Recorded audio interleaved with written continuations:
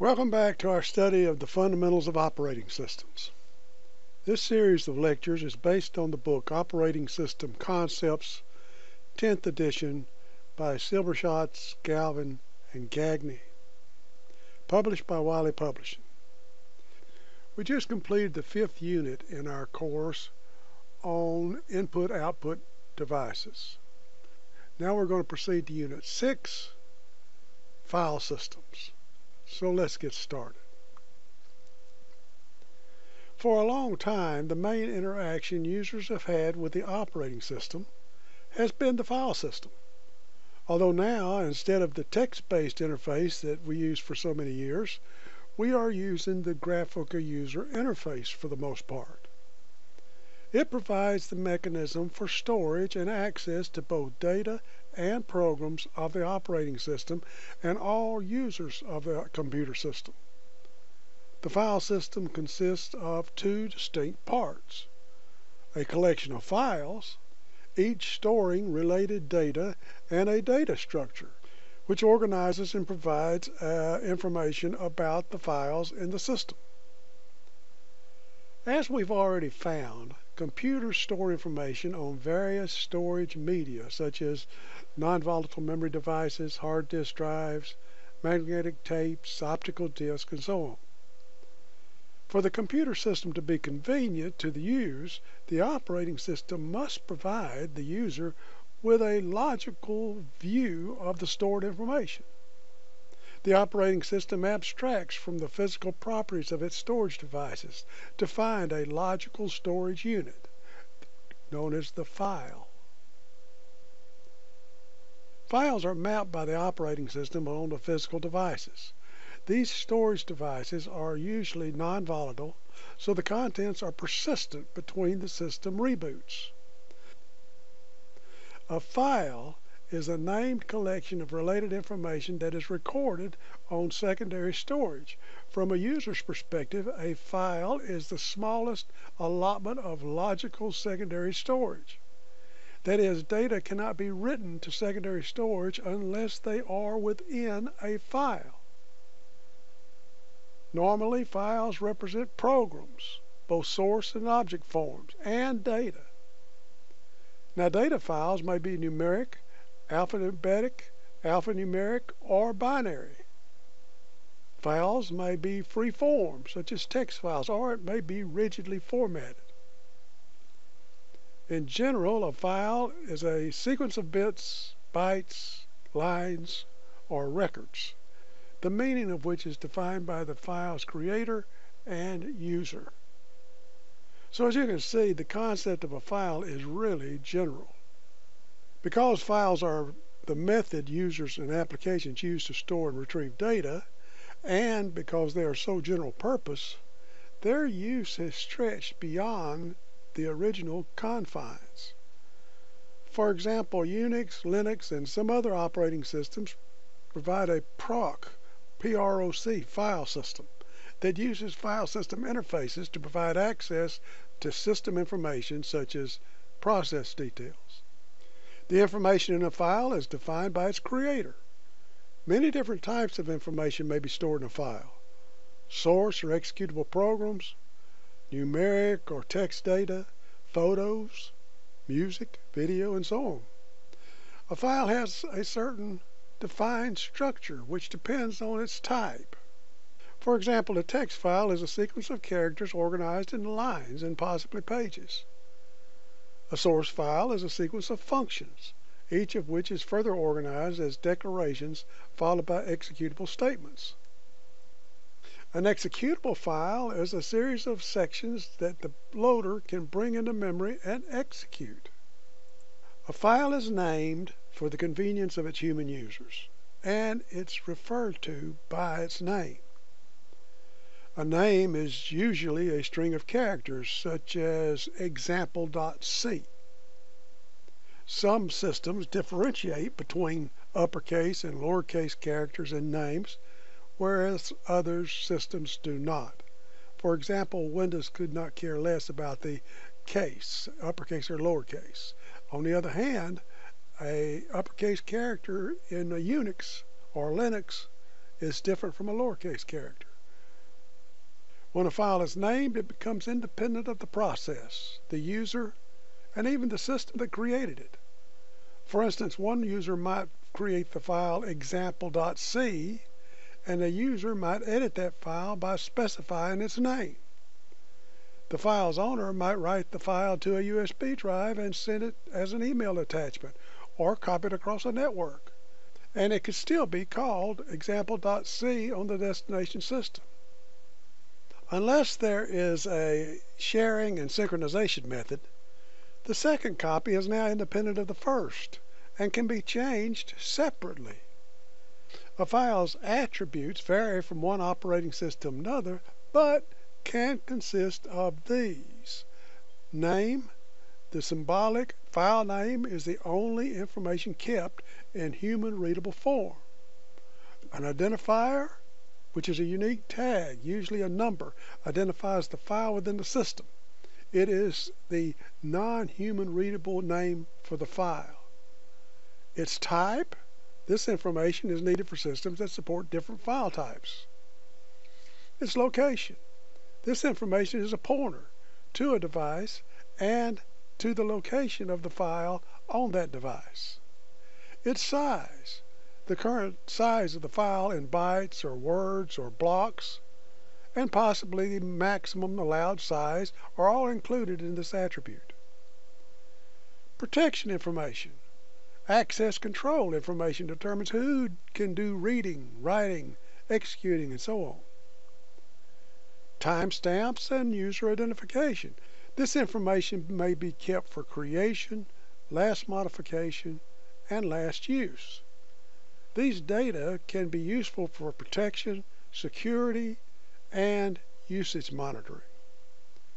Some newer file systems also support extended file attributes, including character encoding of the file and security features such as file checksum.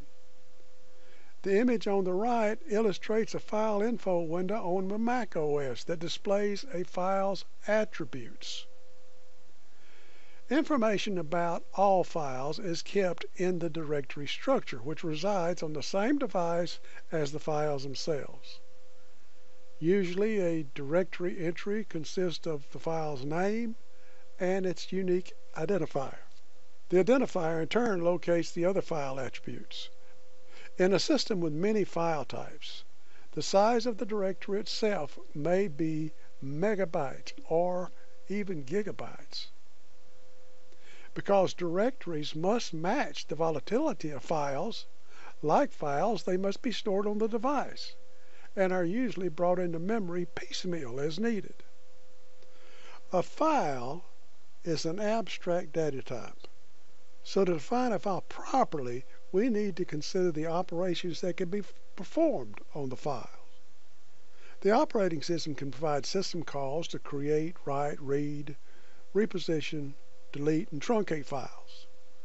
Let's examine what the operating system must do to perform each of these seven basic file operations. Renaming a file is not complicated. For example, in DOS, from the command prompt, one might simply type rename ren file name old, file name new, like you see here. As a matter of fact, we may have done that earlier in the course when we were exploring the command line in DOS. Creating a file. Now there are two steps that are necessary to create a file. First, Space in the file system must be found for the file. And second, an entry for the new file must be made in a directory. Then, of course, there's opening a file. Rather than have all file operations specify a file name, causing the operating system to evaluate the name, check access permissions, and so on, all operations except create and delete require a file open first, as you see here.